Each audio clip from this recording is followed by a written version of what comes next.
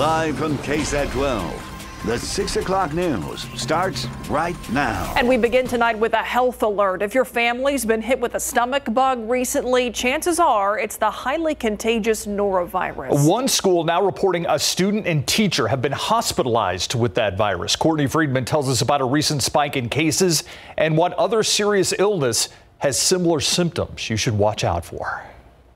Norovirus, a nasty stomach bug that's extremely contagious. Causes symptoms like vomiting, diarrhea, some stomach pain, sometimes fevers. Dr. Robert Sanders is the Associate Medical Director at University Health's PD Express Clinic, and he's been seeing a big spike in norovirus cases. That usually happens in the winter time, but as this graph shows, the virus is making an unusual round this spring. Parents we've talked to say it's been pretty rampant in daycares, but we checked in with school districts too. SAISD and South San ISD both reported normal absence numbers due to stomach related illnesses.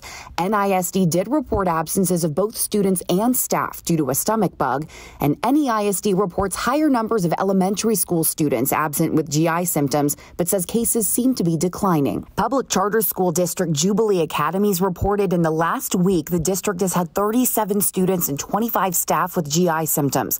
One staff member and one student, both with confirmed norovirus, are hospitalized. Especially with COVID, we are used to using hand sanitizer at all times, but the thing with norovirus, alcohol does not kill it. So the best thing you can do is use good old fashioned soap and water. If you get norovirus, stay hydrated. If the vomiting persists and they're just not able to keep fluids down, or they have signs of dehydration, we want to see them. If their mouth is dry or they're not making saliva or tears, those are concerns.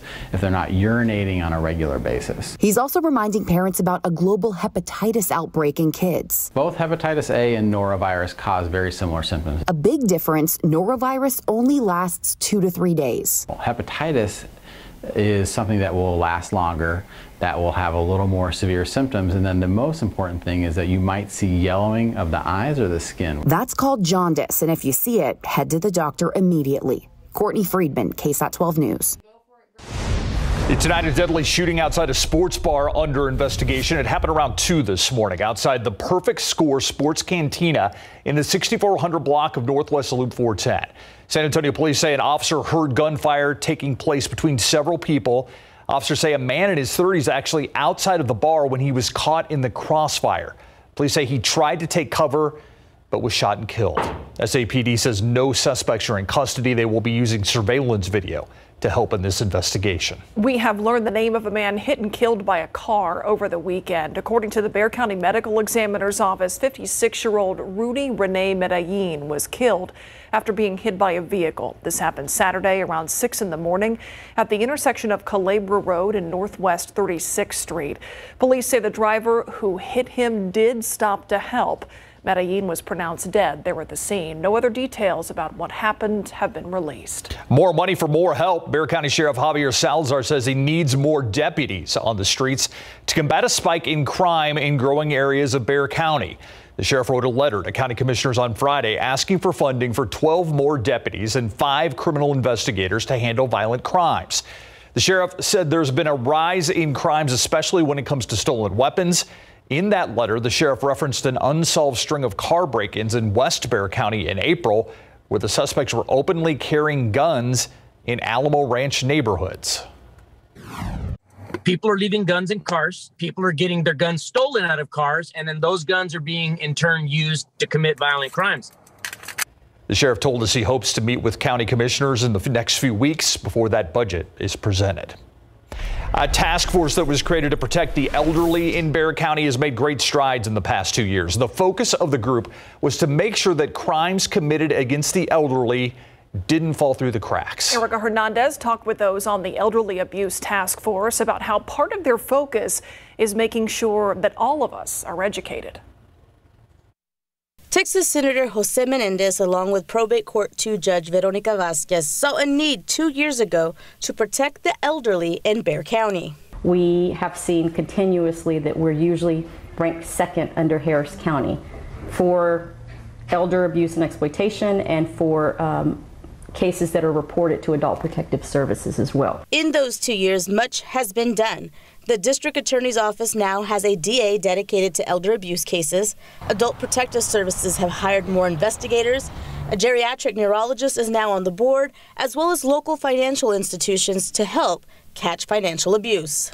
So, what's next for this task force? Well, the work isn't over. They still have goals they want to meet as the amount of reports of elderly abuse continue to be called in. The next step is legislation. Already some bills have passed on protecting the elderly, but now Senator Menendez wants to make sure there aren't any loopholes to the laws. I had filed Senate Bill 2037 in order to create add a definition of exploitation.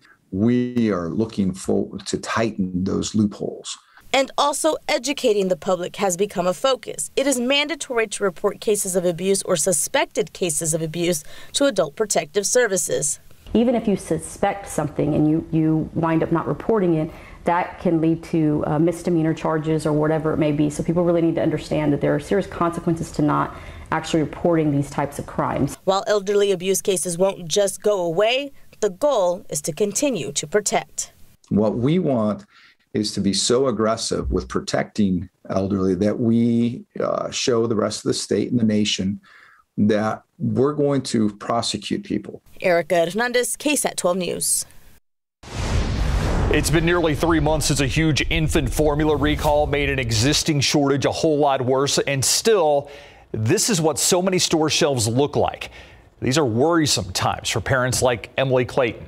She says right now she has about a week's worth of formula to feed her baby son. She drives from store to store, looks online, has family searching, and she finally turned to social media, which she says is hit and miss. Sometimes I don't either have the money to pay for it in cash or I don't know if it's a scam. There's been a lot of that going on on Facebook where moms will sell formula and then not ship it to other moms, or they'll sell it for a really jacked up price and try to make a profit off of it. So it's it's been a real struggle. Manufacturers say they are producing as much as they can, but there's no indication yet just how long this critical shortage will last. The Food and Drug Administration says it's making infant formula a high priority. For now, the experts' advice be flexible on brands, check with your pediatrician or your local WIC office, and do not try to make your own or dilute formula. Let's take a look outside right now. Another warm day out there, 91 degrees at the moment. Curious how that humidity is doing. Am I too optimistic in thinking there was a small break in it today? I, Yes. Teeny, yeah, basically, yeah. uh-huh, you were a little optimistic, but in the days ahead, especially I think Thursday through the weekend, we'll have more of a break from the humidity just during the afternoon hours. So that's something positive to look forward to. 96 was our high temperature today, good 11 degrees above average and 2 degrees shy of the record high. No triple digits on the map in our area, but Cotulla, Carrizo Springs were both 99, so not far from it. Pleasanton 98, Hondo had a high temperature of 97. Right now, most of us still in the low to mid 90s. Cotulla 95, Kerrville 92 degrees, 91 officially at the airport in town, and Helotes 89, Converse 88. A few thunderstorms in specific parts of our area this evening into tonight. We're going to talk more about that in just a bit. Hold on to that optimism. Thanks, Adam. All right, let's take a look at traffic out there right now. The northwest side of town, I 10 at Callahan, really not too many traffic tie ups to tell you about. Looks there, the far lanes we can see headed towards the 410 interchange. That's always backed up. So, no real significant issues out there that drivers are dealing with.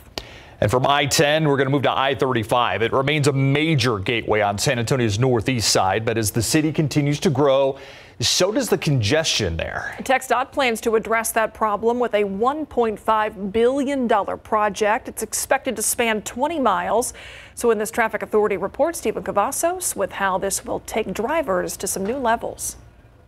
Well, it's been almost a decade in the making, but work on the I-35 Northeast expansion project is expected to begin soon. And although it will take several years to complete, TxDOT officials say this project will offer relief to drivers down the road. Now, the goal is to improve safety and mobility, but also address the increase of traffic in the area. Now, over the course of construction, crews will create elevated lanes to help reduce travel times. Now, these lanes will be created between the main lanes and frontage roads. HOV lanes will also be added for vehicles that have two or more people, such as buses or carpools.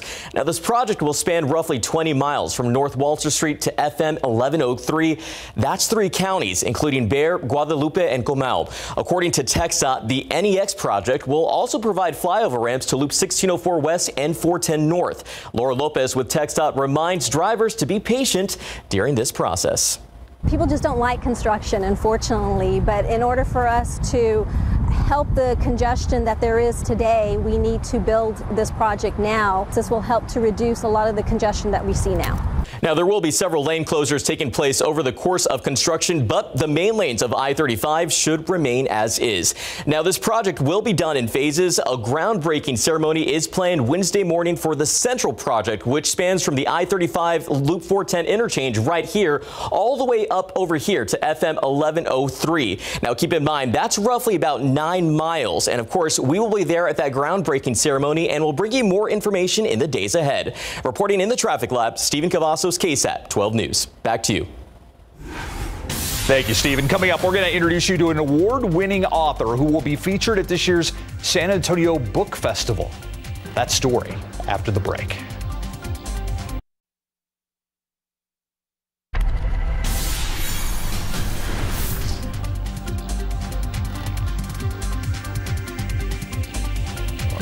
That investigation, one of the more than 60 murders reported in San Antonio this year, the dangerous trend that could be contributing to the problem, and why it's getting harder to stop. Those stories and more tonight on the Night Beat at 10.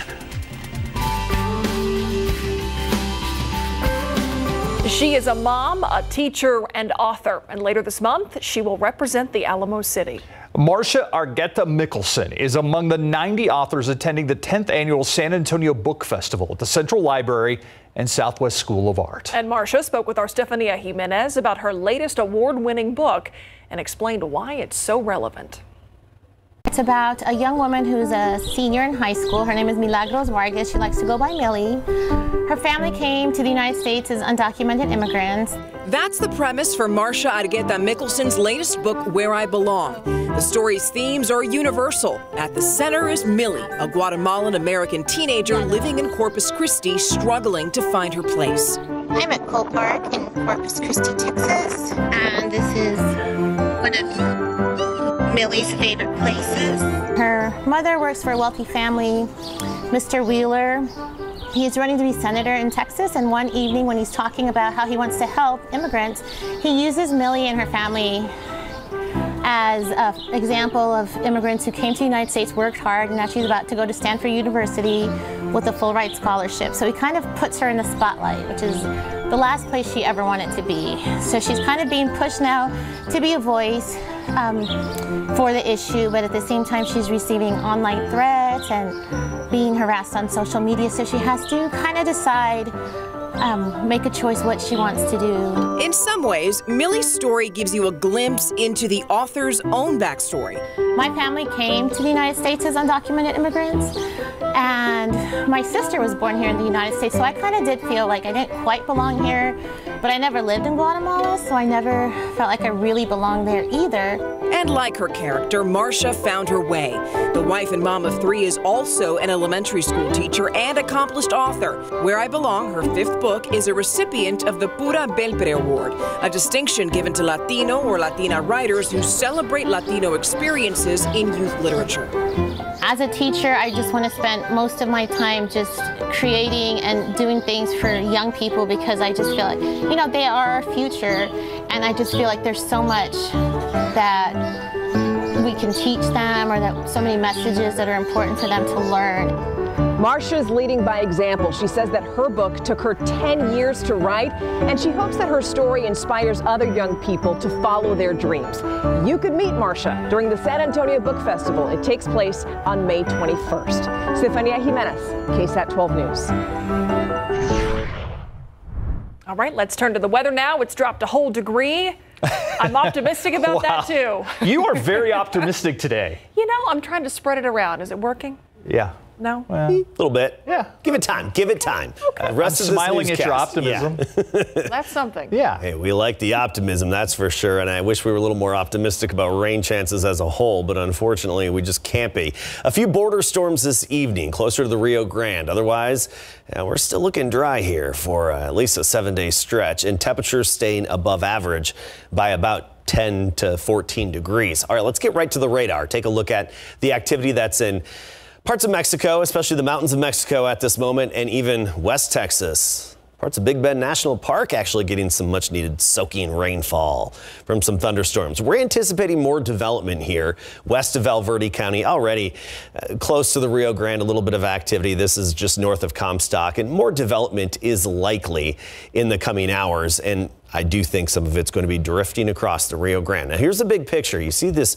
big yellow box there. That indicates the severe thunderstorm watch, meaning conditions are favorable for strong to severe thunderstorms. That's in West Texas, but also does go right into Val Verde County. Doesn't go eastward. We're not expecting anything even close to San Antonio. One reason being upper level high pressure system deflecting it around us, basically going to weaken everything before it makes it here. These storms would just have a really hard time surviving their trek eastward, and we think they'd really fizzle out by about Leakey, Uvalde, Carrizo Springs area. So here's the latest. We talked about the development here that's likely to continue over the next few hours. And you look at the future cast, and it's an agreement that, you know, you get to 9 o'clock, some storms popping up in Val Verde County, at 10 o'clock, just moving eastward. But then watch this midnight, 1 a.m. See that action just has a hard time uh, making its way anywhere east of Highway 83. So from about Rock Springs, Leakey to Uvalde, Carrizo Springs, uh, Crystal City, I think that's our limit eastward from the Rio Grande where those showers are going to make it. But we're seeing the blow off cloud cover already from those storms in Mexico. You look outside, you look off to the west, that thin veil of clouds. So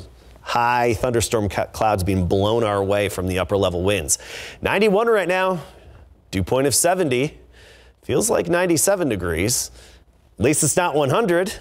Myra, there's the optimism. At least it's not 100. Off. It's rubbing off. I'm, I'm, feeling it now. I'm definitely Yeah. feeling it. It's And working. It's working. 74, it's contagious. So 74 degrees now in Alpine. I point that out because West Texas, deep into drought. I mean, West Texas can often be dry, but they actually had some rain cooled air there. So Alpine at 74, and I think they picked up about 15 hundredths of an inch of rain from those storms. 90s around here, low to mid 90s for most of us. 95 Castroville, Canyon Lake, down to 86, Seguin 88, Comfort now at 90 degrees. Tomorrow morning, pretty uneventful, just very sticky and humid with the low gray clouds to start the day. Most of us lower 70s. We think in San Antonio, even about 75. Gray overcast early. By the noon hour, we get into the sunshine, 87 degrees at noon, and then 95 for the high temperature. We hit that around 4 and 5 p.m. tomorrow afternoon with a lot of sunshine later in the day. And we do think we'll be just below 100 uh, south and west of San Antonio and closer to the Rio Grande tomorrow afternoon. Most of us in the mid 90s for high temperatures. The rest of the week, very similar. Pretty much just repetitive into the weekend. We do tack on a few degrees this weekend, and those high temperatures in the mid, maybe upper 90s, Saturday, Sunday, and Monday. That's record challenging territory. And I do want to point out total lunar eclipse Sunday night should be visible. Some high thin clouds possible. Totality begins at 1029. We'll talk more about that as the week goes on and we get closer to it. That's exactly what I was thinking. Adam's going to have a lot more to say Oh, you know in the days ahead. Thanks, Adam. All right, you know, just like Myra's optimism was infectious, you know, when the Spurs won their world championships, Greg, Peter Holt's enthusiasm for this team was infectious. You're talking about Peter M. Holt. Yes. Now his son Peter J. Holt runs the Spurs. In fact, he's the managing partner of Spurs Sports and Entertainment. But he sent out a letter today to calm the fears, or maybe more likely the concerns of Spurs fans who believe they may be leaving San Antonio after their request to play as many as eight home games away from the AT&T Center. We have excerpts of that for you when we come back. And the blockbuster contract that's waiting for Tom Brady when he finally decides to retire from the NFL. Coming up.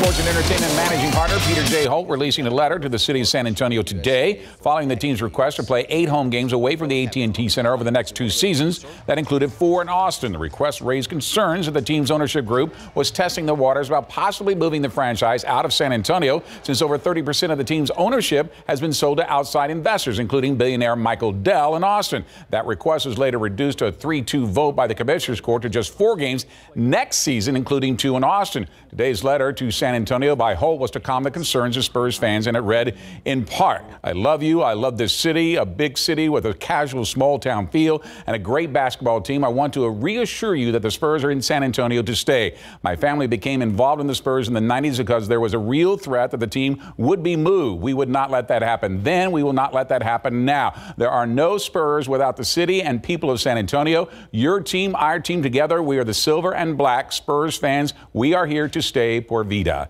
Now, the Spurs have explained their request to play those games away from the AT&T Center was to help expand their fan base from Mexico along the I-35 corridor all the way up to Austin.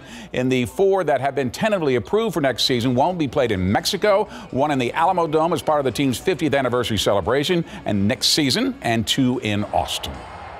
Pro football coverage powered by Davis Law Firm. Another day, another release, a part of the 2022 NFL season to come. Today, it's Christmas Day. CBS announcing the defending Super Bowl champion Los Angeles Rams will host Russell Wilson and the Denver Broncos at 3:30 p.m. San Antonio time on Christmas Day. This coming off Sean McVay becoming the youngest coach in NFL history at 36 to win the Vince Lombardi Trophy. And after the Broncos came up with the biggest offseason acquisition on the field by grabbing Wilson, of course, Russell Wilson, who wants to help in Denver's six year playoff drought. And when seven time Super Bowl champion Tom Brady finally decides, does decide to hang up his cleats, he'll have a very nice deal waiting for him as a broadcaster. After losing both Troy Aikman and Joe Buck to ESPN's Monday Night Football booth, Fox believes they have made up for it by inking Brady to a 10 year deal. And according to the New York Post, it's worth $375 million. That's the biggest payday in sports broadcasting history that averages out to $37.5 million a year, more than double of what both Troy Aikman and Tony Romo make in a single season combined.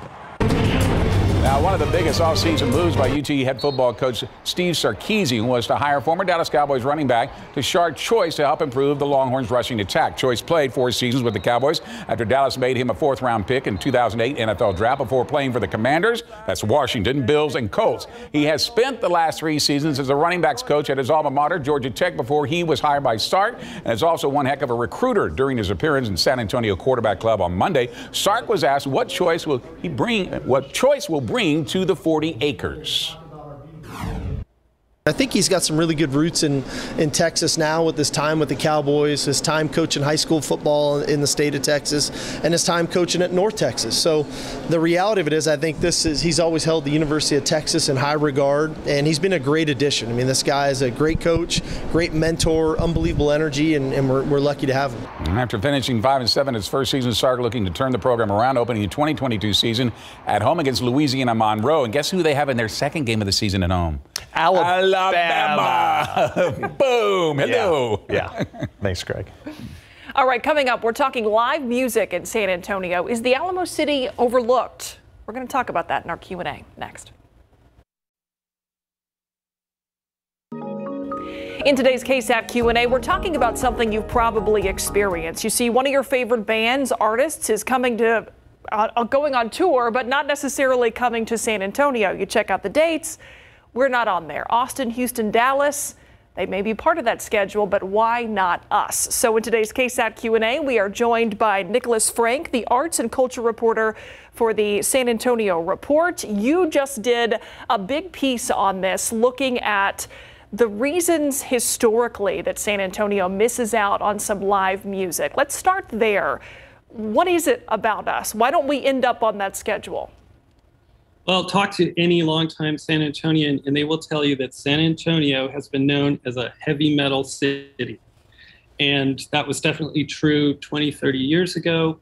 And it's less true today, but that reputation has sort of stuck with the city that it's maybe not as open to other genres of music, other than country music, obviously, and Latin touring acts.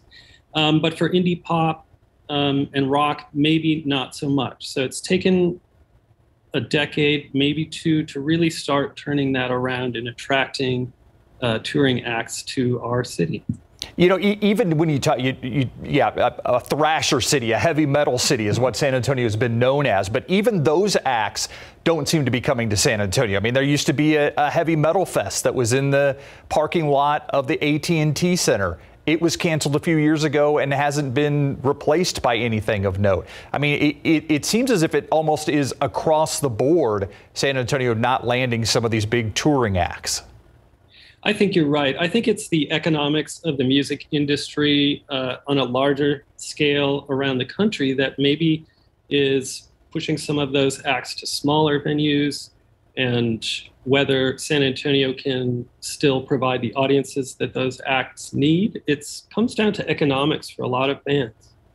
And you touched on that in your article, which I thought was really interesting that when you look at advance ticket sales, there is a big difference in the audience for that in San Antonio versus in Austin, for example. So, is there, when it comes to economics, maybe the makeup of a, of a crowd like San Antonio could provide versus Dallas or Austin? Is that a big reason that some of these shows don't happen here? Yeah, definitely. Several of the knowledgeable promoters and agencies that I spoke with for the article said that San Antonio is notorious for not uh, providing advanced ticket sales, which is what gives those promoters and bands confidence that they can sell out their shows here, at least make enough money, you know, to pay their musicians, pay their crew, and keep touring. Um, and that doesn't mean that audiences won't show up. And say Chad Carey, who owns the Paper Tiger, which is an independent music club on the St. Mary's Strip, he said that people will show up. They'll show up on the day of the show and largely make up the hopes of the promoters to fill that club. Um, he also said that uh, in a recent show, the Brian Jonestown Massacre came through town, and he said he would have liked to sell about 150 more tickets to that show, but that you treat that band well, they have a good experience in San Antonio, and they'll want to come back. You Even talk about some of the bigger the bigger acts. I mean, do you think the image of San Antonio is changing. I mean, we just had the Smashing Pumpkins that were out at the uh, at, out at the Tech Center. They sold that place out, and uh, you know the lead singer had a Spurs hat on, was promoting what a great time he had in San Antonio. Is that what needs to happen, or you know, promoters they seem to be fewer and fewer and bigger and bigger promoters. Is San Antonio kind of stuck in this uh, rut right now when it comes to live music? You make two excellent points, Steve. Um, yes, there there's a promotion issue with larger conglomerates, uh, touring promoters taking charge of bands and really directing them to specific cities, maybe to help maximize profits or to direct them to specific venues. But um, I spoke with Aaron Zimmerman, who's the vice president uh, for programming for the Tobin Center for the Performing Arts and also Tobin Entertainment very knowledgeable about the scene here. And he mentioned the Smashing Pumpkins. Tobin Entertainment brought them here, and he said the show was fantastic. It was packed. Um, like you said, it was sold out, and that will, you know, San Antonio's charm. The Spurs will also bring bands like that back. Those bands will tell their friends. And as Aaron said in the article, things are changing, and they're changing fast. I want to make sure people go to the San Antonio Report.org and take a look at that article because there's a lot more in it that we can't cover in five or six minutes. And, uh, you know, it's fascinating. Yeah, things are definitely changing for the better, it seems like. Nicholas Frank, thanks so much for being here and sharing some information with us. By the way, Nicholas, before you go, I yeah. want your background is interesting. You were an art curator for a museum. You were an independent, you toured with a band.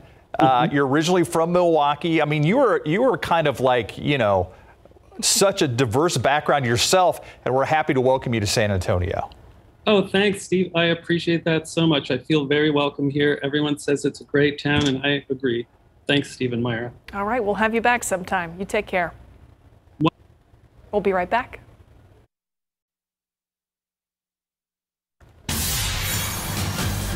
Wildfires throughout New Mexico continue to grow as extreme fire conditions fuel the spread of those massive flames. Crews battling a dangerous mix of powerful winds, low humidity, and high temperatures. And now there is growing concern that weather conditions could quickly change and impact containment efforts.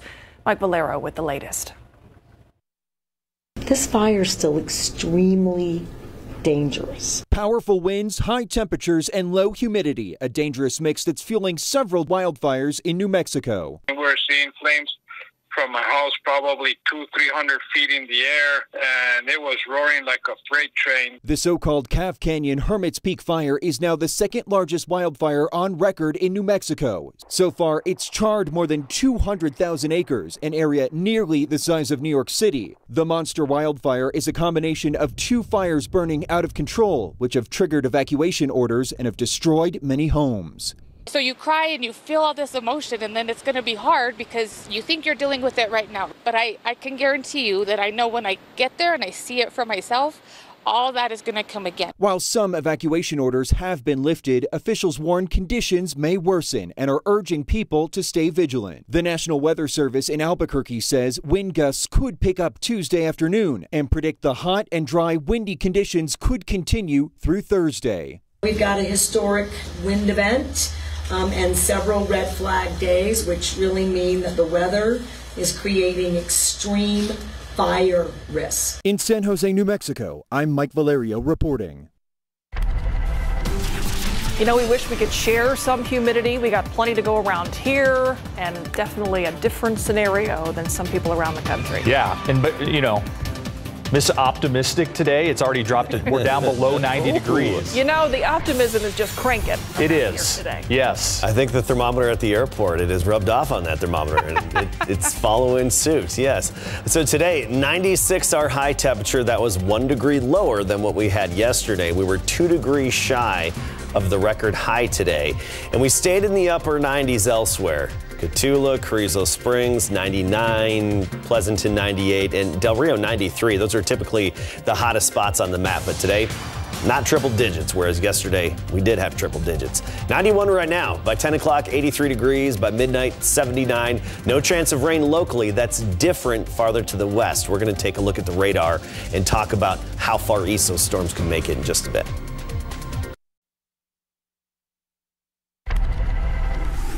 In the buzz today, NASA could soon be sending pictures of naked earthly humans to aliens.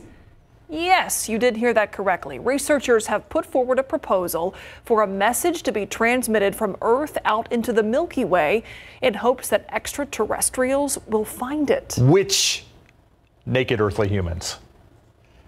That's my question. That the message question. plan includes representations of DNA, a map of the solar system, Oh, and illustrations of nude humans waving hi, one male and one female. The message ends with an invitation for extraterrestrials to respond using their own telescopic technology. Okay. Yeah. Dolly Parton still working, working, working. The 9 to 5 singer is teaming up with Taco Bell for a new musical about the chain's Mexican pizza.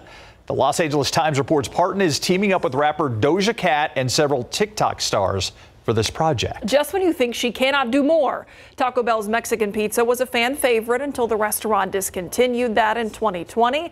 Now it's returning May 19th with a musical to boot. Mexican Pizza, the musical, set to debut on TikTok May 26th. They should have called it the Mexican pizza of many colors. That would have been amazing. Yeah. Okay. I guess I got to get on TikTok. Andy Warhol's iconic Marilyn Monroe portrait, some of the most important works of art in the 1960s pop art movement. Well, one of the pieces just sold for a jaw dropping $195 million, becoming the most expensive 20th century artwork ever to go on auction. The 40 inch the 40 square inch shot sage blue Marilyn was one of dozens of images Warhol made of Monroe in the 60s. The record breaking sale happened at Christie's in New York on Monday. The auction house had initially said it was expecting bids in the region of $200 million. And today is National Shrimp Day. Some countries use the word prawn to describe larger versions of the sea animal.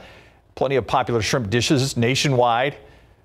Going to sound like Forrest Gump here. Seafood gumbo, shrimp cocktail, shrimp scampi, just to name a few. I'll take it from there. Whether you like them blackened, fried, broiled, or grilled, the delicious crustacean is low calorie, high protein, and it's an option for any meal. It's also known to be good for the circulatory system. Get a little shellfish and enjoy some shrimp today. It's also really good bait. Let's not forget that. That's true. Great the bait. li- the live shrimp. Yeah, good Yeah. bait. Mhm. Yeah.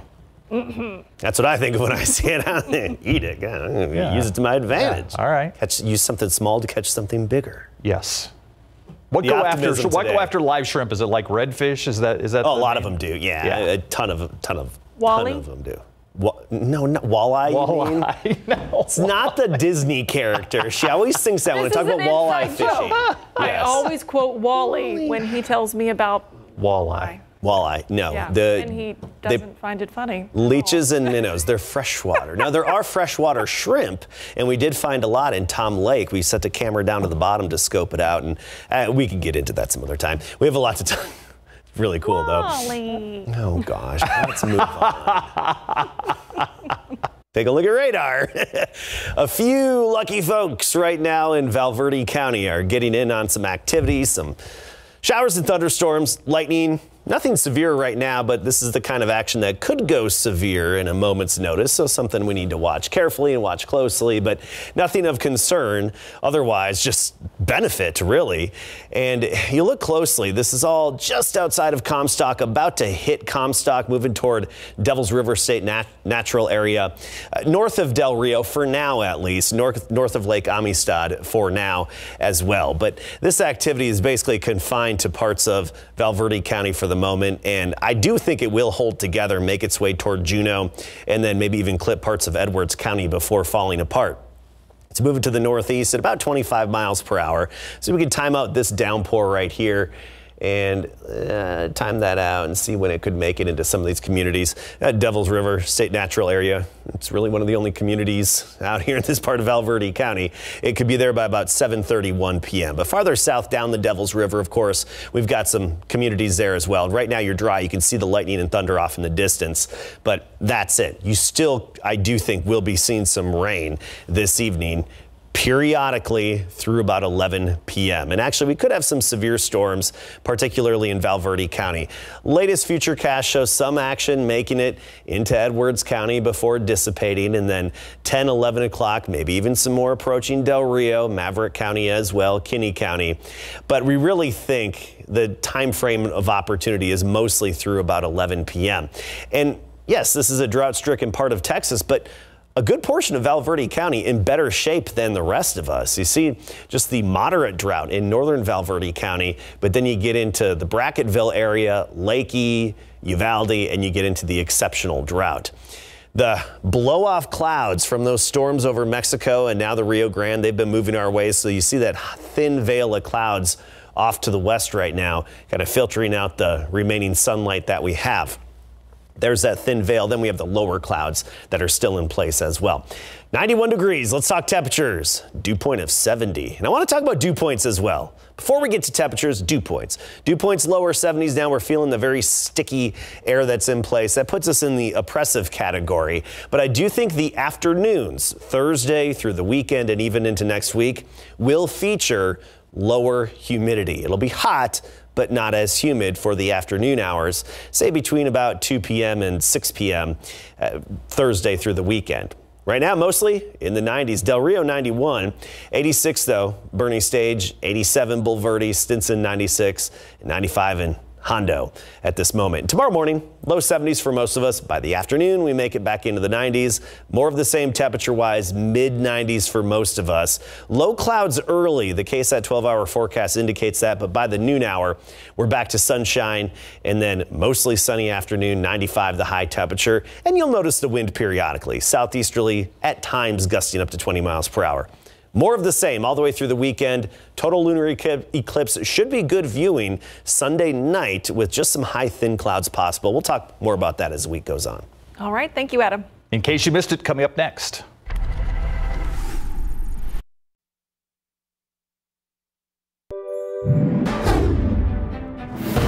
Innocent bar patron, a man in his 30s, was killed by gunfire early this morning while standing outside of a Northwest Side sports bar. A call didn't have to be made to 911. An officer was actually patrolling the parking lot at Ingram Park Mall and heard the shots across Loop 410, where two cars were shooting at each other here behind the Wingstop, and they ended here at the Perfect Score Sports Cantina. La ISD will allow some staff members to carry concealed weapons on campus now. The school board voted unanimously to implement a district guardian program. That decision comes after several months of discussions with parents and students, teachers, law enforcement. Sheriff Javier Salazar said deputies need to stay a step ahead of criminals as summer approaches. He says there's been a rise in crime in parts of Bexar County, specifically when it comes to stolen weapons. People are leaving guns in cars. Uh, people are getting their guns stolen out of cars, and then those guns are being in turn used to commit violent crimes. I have maybe a week left of formula left and that's scary. Emily Clayton never dreamed she'd be desperate to find food for her baby Finley, only to find shelves like this with little to no formula. Emily turned to social media, posting her plea like so many others nationwide. She drove miles to pick up a single can. For the first time in two years, the Special Olympics is returning to Morgan's Wonderland in San Antonio. And as the people at Morgan's Wonderland gear up for this weekend, they also need some volunteers. Founder Gordon Hartman anticipating thousands of people show up to the event. To the event, he says anyone who wants to help out is encouraged to do so.